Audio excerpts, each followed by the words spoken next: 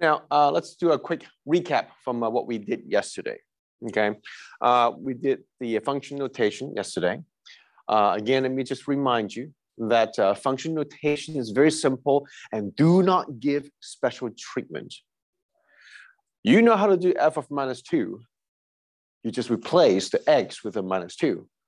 And a lot of people, you have to understand, you have to ask yourself, Okay, so um, again, you do not give special treatment to anything, anything, all right?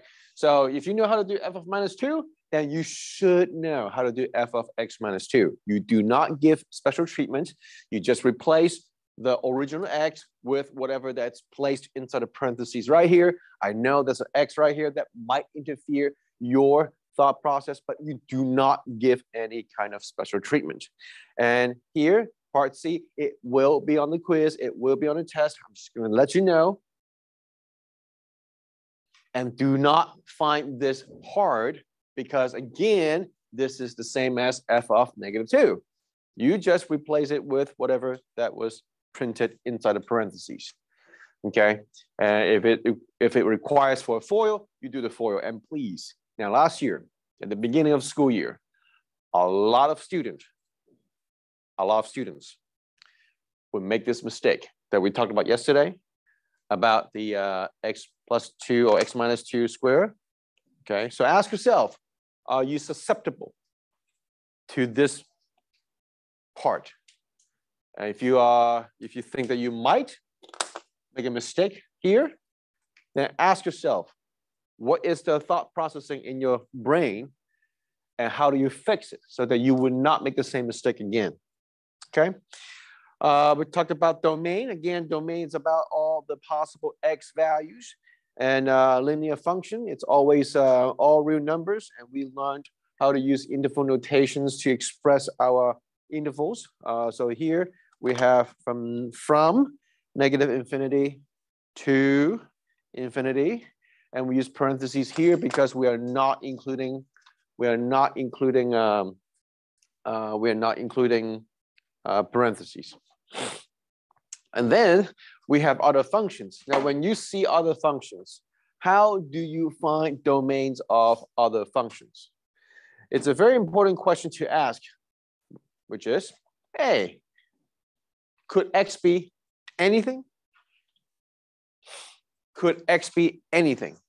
And we look at square root of x, we say, wait, hold on, x can't really be anything because x cannot be negative numbers.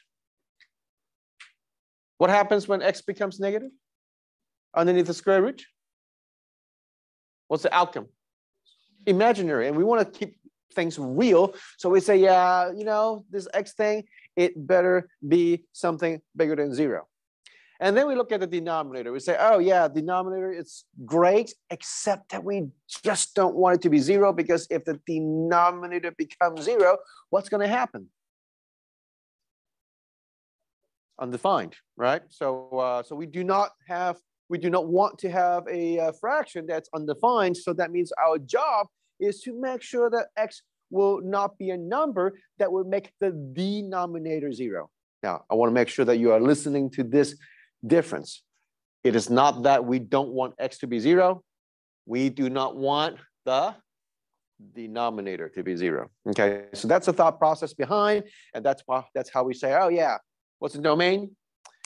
Everything greater than everything greater than zero except five, and that's how we express it.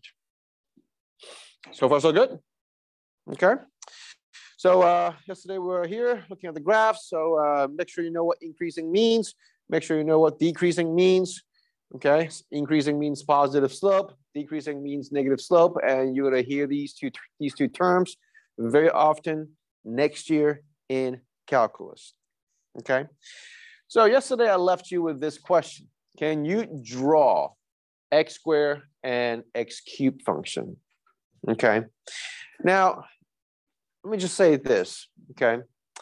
Uh, a lot of people, uh, they kind of sell themselves short. They just surrender. They think that, oh, I cannot do this. Now, but ask yourself, Can you actually carry out a number that's being squared? Can you? Okay. Can you actually cube a number? If you can square and cube a number, that means you can graph because you can just come up with some numbers. Be like, oh, what is uh, negative two whole thing squared? Be like, oh, it's about four. And then negative one squared, one. Zero squared, zero. One square, one. Two square, two. So then you can draw a parabola, just like this.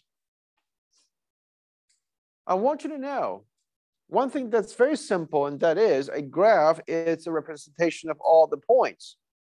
A graph is the representation of all the points in the function.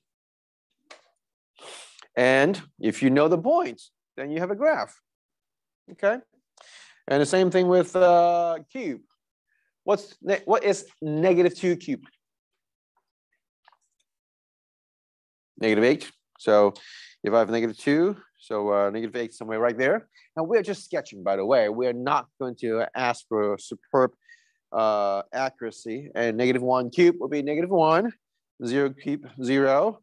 1 cube, it's 1. 2 cube, it's 8. So it should be something like this or something that looks like this. Okay, if you produce a graph that looks somewhat like this, then you're good. Okay. Now, so I hope you can connect some dots here. why am I asking you to draw these two functions? And why am I asking you drawing these two functions in the context of even and odd functions? Okay. Now, I use this as an entry point because uh, even an odd function, uh, these two are terms. This is the entry point of even and odd function. And now you can see like, uh, what's even function?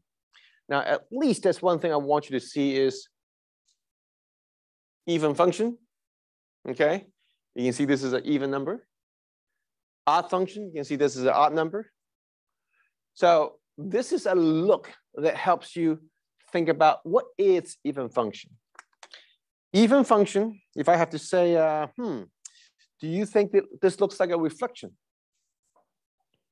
If you say, yeah, it looks like a reflection, then I would ask you, what is it reflected over with? It is reflected over Okay.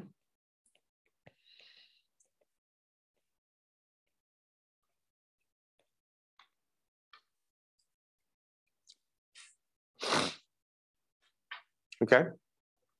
So if you know how to draw an x squared graph, then you know what even function is. Then you know where the symmetry is. Okay. If you know how to draw an x cubed graph, then wait, hold on. Is it a reflection?